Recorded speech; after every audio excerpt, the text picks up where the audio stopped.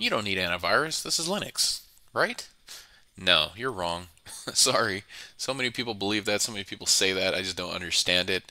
Um, viruses can infect Linux. Viruses can infect Windows. It just depends on who wrote it, how they wrote it, right? I will say that most viruses are crafted or designed to target Windows operating systems. Uh, that's for mainly one reason. The vast majority of the market share is Windows.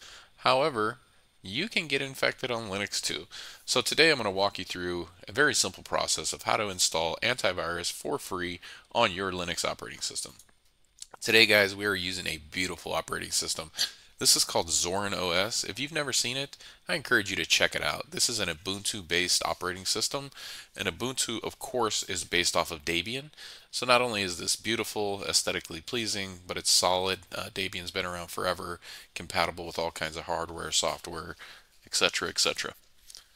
All right, so first thing we're going to do, guys, is we're going to log into our operating system. We're going to launch a terminal. And let me zoom this in for you guys. And it's very easy. We're going to run a sudo apt. apt is our advanced package tool, which is the underlying package manager for Debian, Ubuntu-based operating systems. Excuse me. So we're going to run a sudo apt update, just make sure all our packages are up to date.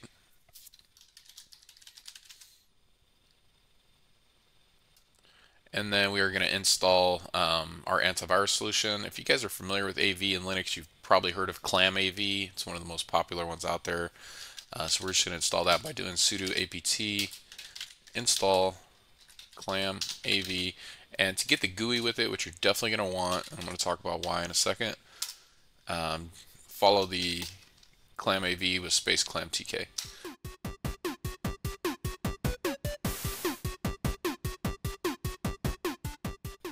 All right, guys, so that's it. You're done. that's literally it.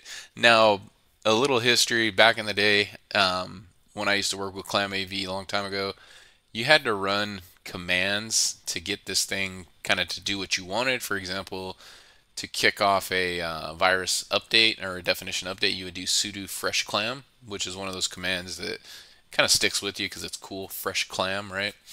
Uh, if we run that now, I bet we're going to get an error about the log file because chances are this process is already running in the background. Yep, just what I expected. Um, the .log file is locked by another process. That's because the systemctl or the, the system in the background is actually already running a virus definition update. So it's running freshclam in the background.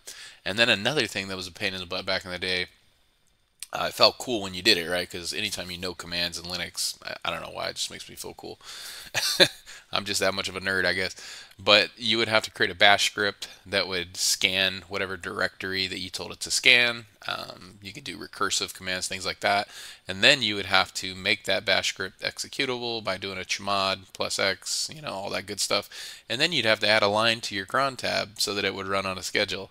Um, so it worked. Like you could get it to work and you could pipe that all out to a log file and see what happened when it was running scans and things like that. But now uh, with the ClamTK or the graphical user interface, this is, I mean, as easy as it gets.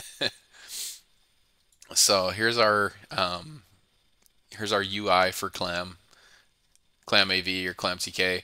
We have our settings, we have our whitelist, we have our network, we have our schedule right there, right? So you can schedule uh, scans, and then you can schedule your signature updates. So this is pretty cool. You can say, hey, I want to do this. Select the time to update your signatures. You want to do it at 1 o'clock in the morning. And maybe I want to run my scans at 3 o'clock in the morning. Done. so this is super easy. Uh, this will show you the history so when it runs its scans after it runs the first one, you'd have a history of what it found. You could view that. You could print that. You could delete the logs if you want. Probably if you're doing something nefarious there. Um, so that's it, guys. You are now protected with antivirus on your Linux solution. again, this is a um, very popular antivirus solution for the uh, Linux community. It's been around a long time it's come a long way too. I mean, now you have an analysis tool. You can scan a specific directory, scan a file. This used to all be command line back in the day when I was using it. Um, you can run updates here. basically everything your um, very basic antivirus on a Windows machine would do. And this is really, uh, I won't say all you need, but this is a very good step forward if you have nothing, if you're just running out there butt naked in Linux. this is a nice little layer of protection to add to your Linux operating system.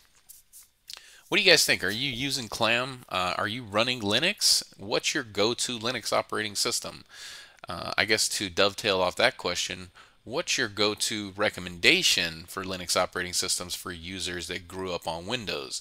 So if you have a friend that's, you know, just all they use is Windows and you're talking about Linux and they have no idea what the hell you're talking about, what recommendations do you give them to get started with Linux? You probably shouldn't be throwing them into Arch. You wouldn't do that, would you? you don't want to throw them straight into Arch, man. That's messed up. No, I'm kidding. But um, yeah, what do you what do you tell your um, noobs in Linux to test out? Is it Linux Mint? Is it Zorin? Is it Ubuntu? Is it something totally different? Let me know. Zorin is a beautiful operating system, like I said, and this is included on several of my USBs. I have this on the Linux Lovers Library. I have this on the Ultimate. I have this on the Ultimate V2, which is the greatest USB on the planet, guys. If you haven't checked out my USBs, head over to bootableusbs.com. Pick one up today. I'll ship it out tomorrow. Uh, you can run a lot of these operating systems, these uh, Linux operating systems live on the USB and you don't need to install anything. And then I've added persistence which allows you to save your work. So like we just did here you can install ClamAV and you know shut it down shut your or unplug your USB plug it in somewhere else and guess what? You still have ClamAV you have all your work with you saved as if it was a fully installed operating system but it's just a live operating system with persistence. So you get the best of both worlds Alright guys, I just wanted to show you how you can easily install antivirus on your Linux operating systems and you can open the graphical user interface for ClamAV.